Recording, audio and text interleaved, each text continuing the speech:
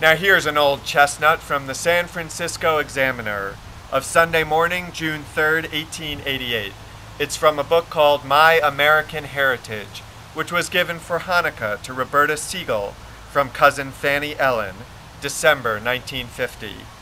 Casey at the Bat, Ernest Lawrence Thayer. The outlook wasn't brilliant for the Mudville Nine that day. The score stood 4 to 2 with but one inning more to play. And then, when Cooney died at first and Barrows did the same, a sickly silence fell upon the patrons of the game. A struggling few got up to go in deep despair. The rest clung to the hope which springs eternal in the human breast. They thought if only Casey could but get a whack at that, we'd put up even money now with Casey at the bat. But Flynn preceded Casey, as did also Jimmy Blake, and the former was a Lulu, and the latter was a cake. So upon that stricken multitude grim melancholy sat, for there seemed but little chance of Casey's getting to the bat. But Flynn let drive a single, to the wonderment of all, and Blake, the much despised, tore the cover off the ball. And when the dust had lifted, and the men saw what had occurred, there was Jimmy safe at second, and Flynn a hugging third. Then from 5,000 throats and more there rose a lusty yell. It rumbled through the valley, it rattled in the dell, it knocked upon the mountain and recoiled upon the flat. For Casey, mighty Casey, was advancing to the bat. There was ease in Casey's manner as he stepped into his place. There was pride in Casey's bearing and a smile on Casey's face. And when, responding to the cheers, he lightly doffed his hat. No stranger in the crowd could doubt 'twas Casey at the bat.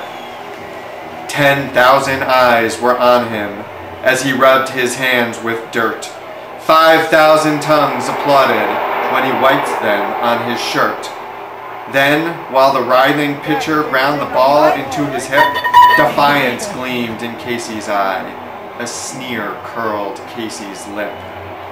And now the leather-covered sphere came hurtling through the air, and Casey stood a-watching it in haughty grandeur there.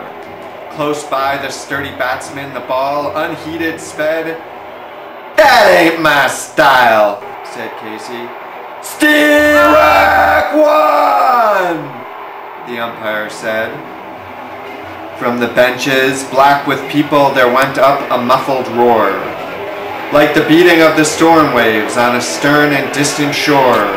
Kill him! Kill the umpire! shouted someone on the stand, and it's likely they'd have killed him had not Casey raised his hand. With a smile of Christian charity, great Casey's visage shone. He stilled the rising tumult. He bade the game go on. He signaled to the pitcher, and once more the spheroid flew. But Casey still ignored it, and the umpire said, Steerack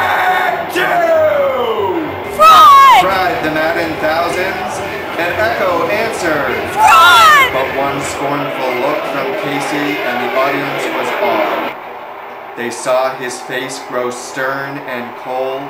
They saw his muscles strain, and they knew that Casey wouldn't let that ball go by again.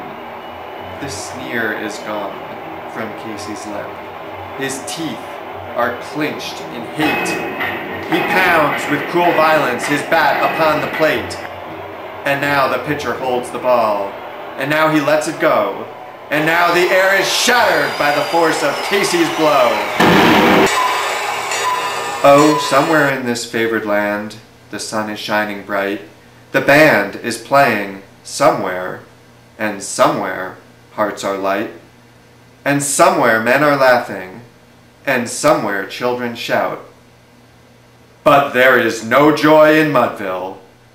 Mighty Casey has struck out.